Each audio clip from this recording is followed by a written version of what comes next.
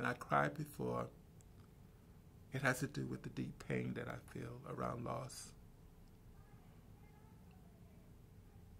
And it actually began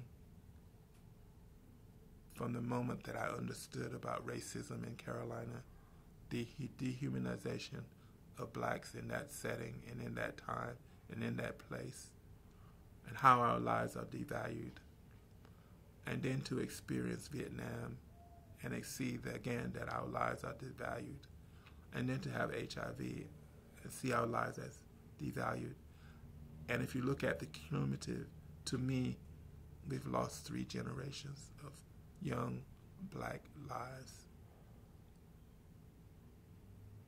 And that's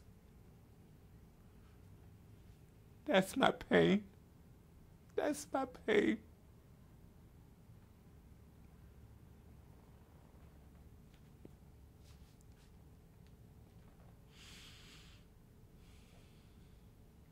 Just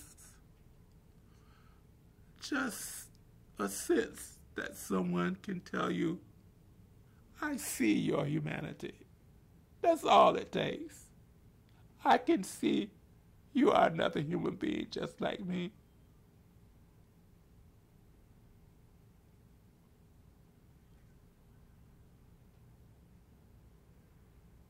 And to see people like Donald Trump come on the scene and see his accept people accepting all of the bullshit that he's talking about. It just tells me we got so much further to go as a nation. We got so much further to go as a nation. And that's